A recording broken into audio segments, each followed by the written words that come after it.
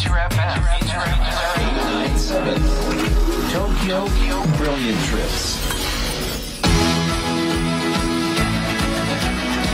4月の19日水曜日時刻は10時になりました長野美里がお送りしていますインター FM897 東京ブリリアントリップスです10時台もよろしくお願いしますさ今週のインター FM897 は「世界音旅」です。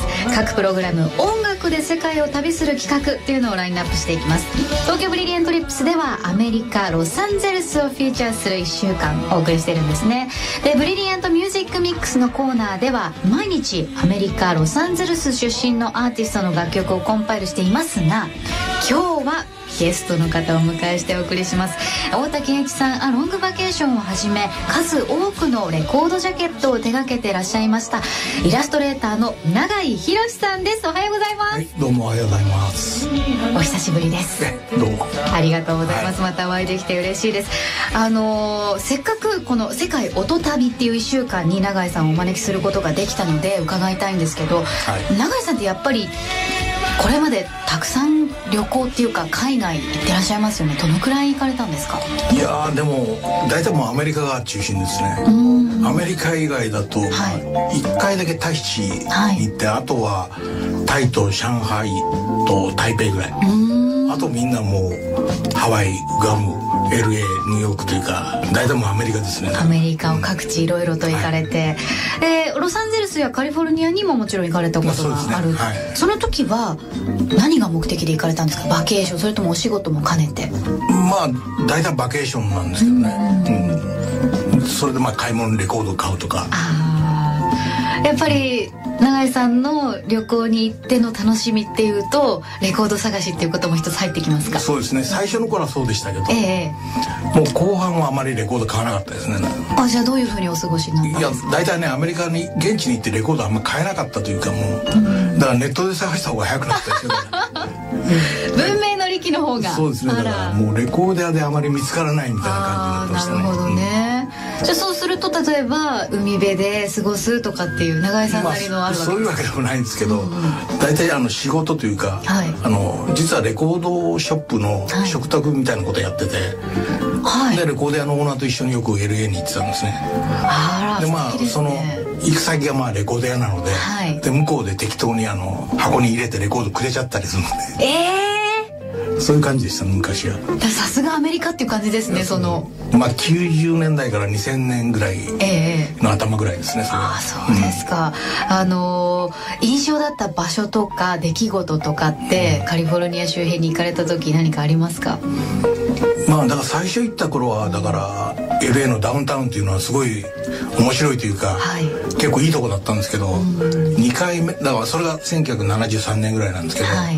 80年頃に行ったらもうなんかやばい感じになってましたね。あら数年で。ダウンタウンが。あそうですか。みんなシャッターが降りてるような。あそうですか、うん。最初の頃はもっとこう活気があって。そうそうそう。だから人がいっぱいいてすごいえ楽しいところでしたよだから。あそうですか。だから結構その頃初めて行った時はだから、デパート行っても、はいデパートのまあレコード売り場とか行っちゃうんですけど、ええ結構だから1階であのセールみたいなことやっててそこでだから地下の系のまあドゥアップとか歌ってるようなレコードを買ったりしてましたね、そういうのが普通にありましたねそういうとこで、本当ですか、やっぱりそのカリフォルニアとかロサンゼルスに行くとその場所からインスピレーションを受けるなんていうこともおありでしたか？うんまあそうですね。だからすごいまあ影響を受けたというか、だからまあアメリカの風景がすごい好きだったんですね、かといってあんまり写真を撮ってなかったというか。えそうなんですか？意外です、だから絵を描く時はだから人の写真集からインスピレーションで描いたりする。んですよそうなんですか？ご自身では？あんまり撮らないあんまり撮らなくて、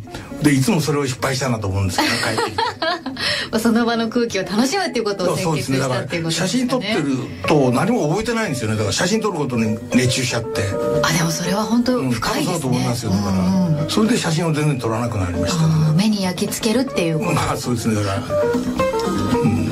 なるほどやっぱりそのアメリカの中でも西海岸っていう、まあ、今週ねカリフォルニアロサンゼルスにフィーチャーしている1週間なんですがやっぱり西海岸っていうとそこに絞って言うと永井さんがお持ちのイメージってどんなイメージになりますか？うん西海岸だと、まあ、最初に行ったのはだからサンフランシスコだったんですけど、えサンフランシスコは寒いなっていうイメージがありましたね。夏だったんですけどそうなんですか。ええそれでその後 LA に行って、はい、まあ LA はすごい広いなという。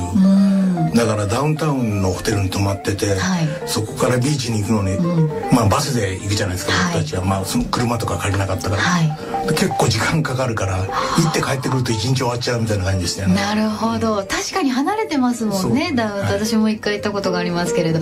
で今日の水曜日っていうのは食べ物がテーマになってるんですよ、うん、永井さんがそのロサンゼルスとかカリフォルニアで食べたもので印象に残ってるものってあります？だから最初に行って驚いたのは、はい、パストラミサンドイッチですね。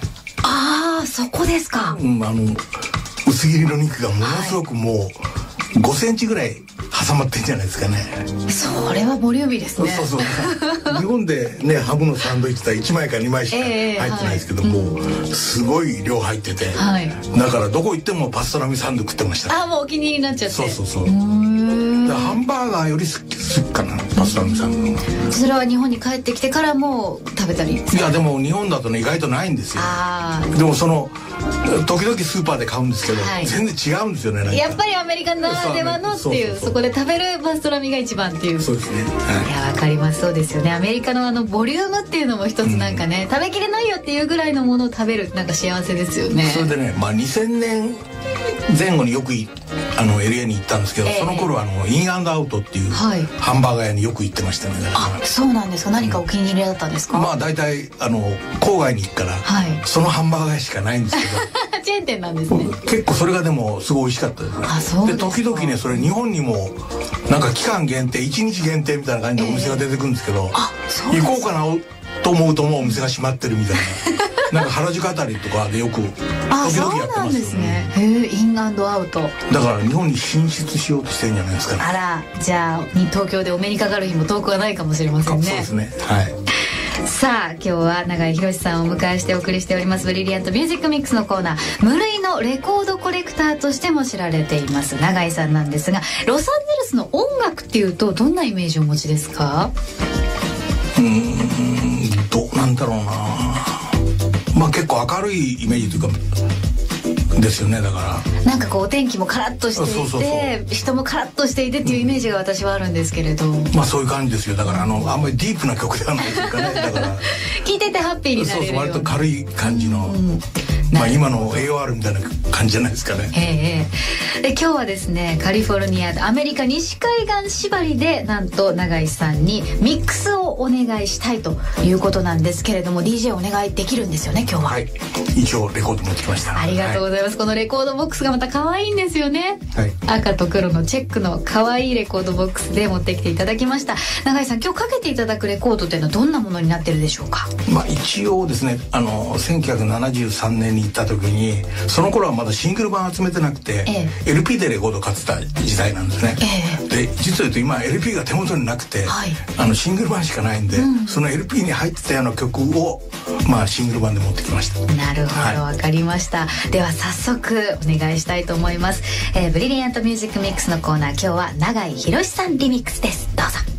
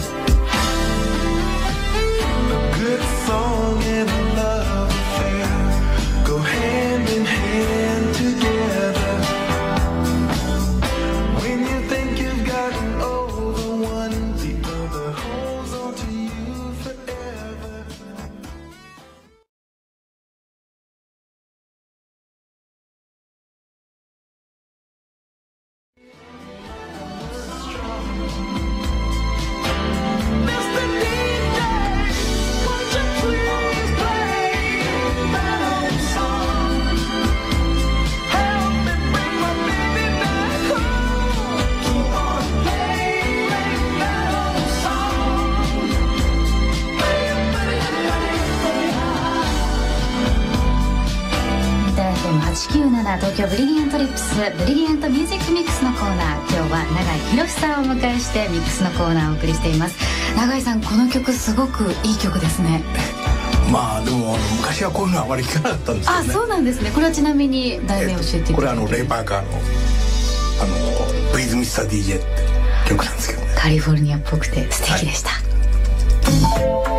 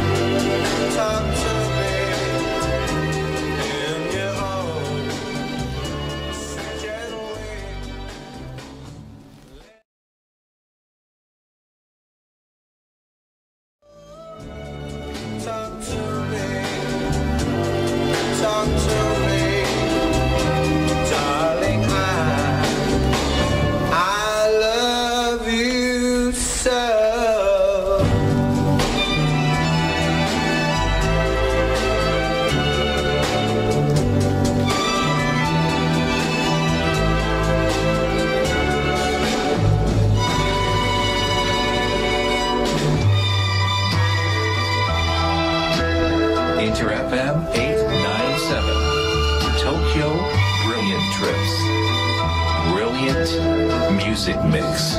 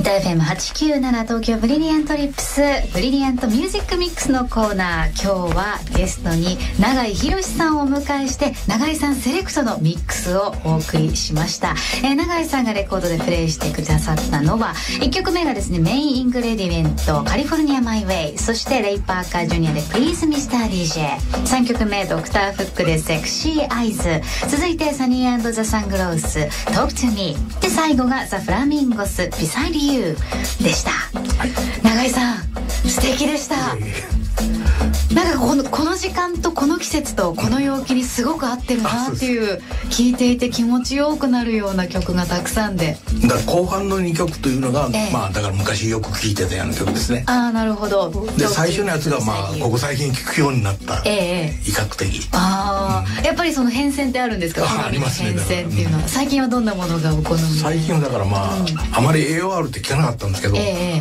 ここ23年聴くようになりましたね。なるほど。大体昔はもっと黒っぽいというか、のを聴いてたんですけど、最近はちょっとまあ軽い曲も聴くようになったというか、いや本当になんだかね心がウキウキと軽くなってくるような選曲どうもありがとうございました、はい、さあそんな永井さんなんですが今週末から原画展があるそうですね。ね、はい。えー、4月の23日日曜日から南青山のスパイラルビルの地下1階レストランバー階にて行われます。今回はトロピカルがテーマだということで。一応そういう感じでやってます。なるほど、はい、で初日はですねサニーデイサービスの曽我部圭一さんイラストレーターでアートディレクターの小田島仁さんそして音楽評論家の湯山玲子さんとトークショーや DJ イベントもなさるということで、はい、これは盛り上がりそうですね。よろしくお願いします。でゴールデンウィークには永井さんの絵を実際にみんなで描くっていうそんなワークショップもあるそうですね。そうですね。まあ自分としてはどうかなと思ってるんですけど 一応そういう企画でやろうという感じなんで。いやでも書いているとまた気持ちがねこう、はい、海にと海にと飛んでいきそうな感じがしますね。さあ詳しい詳細はですね番組ブログにも掲載しておきますのでぜひそちらをチェックしてみてください永井さん今日はどうもありがとうございました、はい、どうもありがとうございました。はい。ブリリアントミュージックミックスのコーナーでした。明日もお楽しみに